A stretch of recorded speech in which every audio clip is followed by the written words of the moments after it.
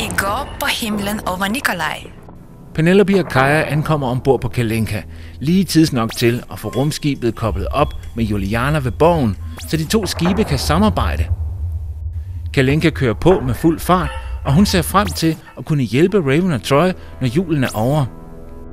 Nu behøver julemanden heller ikke længere være bekymret for Kalenka, når han næste gang tager afsted ud i verdensrummet. Penelope har ikke rigtig nogen planer om, hvad hun skal lave efter jul. Men hun er klar til at komme ned på arkaden og fortælle Martin, at det værste er overstået. 22. afsnit.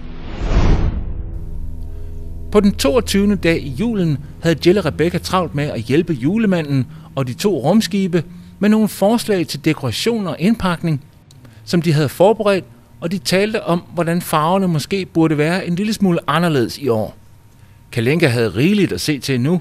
Hun var sammenkoblet med Juliana, og hun ville ikke være i stand til at hjælpe Raven og Troy med at nå ud til deres destinationer lige med det samme.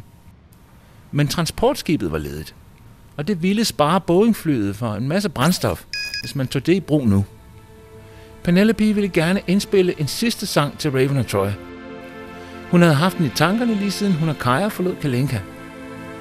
Og hun ville gerne have, at Raven og Troy fik den med. Kasper og High Rising Records blev ved med at udvide listen af turdestinationer for Raven og Troy.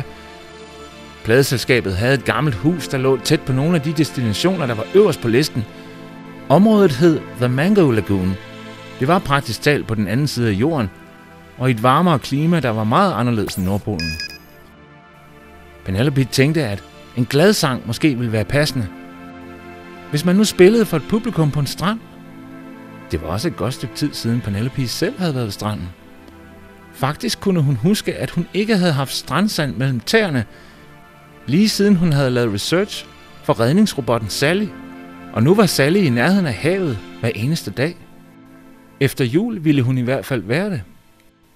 Penelope fik pakket Raven og Troy og fik Engine D til at hente dem. Så gik hun ned på arkaden sammen med Kaja, hvor hun håbede på at finde Martin – Marianne var ved at spille et remix af en Raven Troy sang, der oprindeligt var skrevet af Kaja. Det var den sang, hun havde sunget af Martin.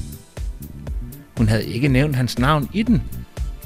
Men den kom i hvert fald fra den sidste gang Kaja og Penelope havde været på arkaden.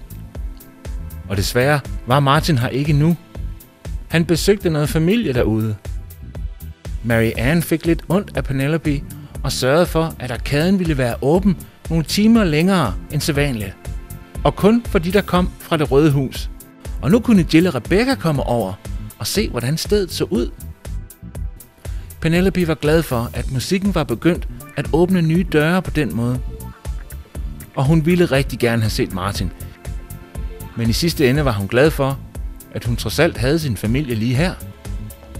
Kaja og de to besætningsmedlemmer fra Juliana hvis man kunne kalde det familie. Penelope tænkte ved sig selv, at det måtte række for i år.